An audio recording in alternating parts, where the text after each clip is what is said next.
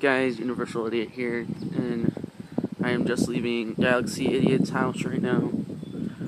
I have got, just destroyed a DS, and those guys, he's not very happy about it. But I heard that I walked in on him saying he was gonna prank me, and I just I didn't want that, so prank war's on, dude. Prank war's on.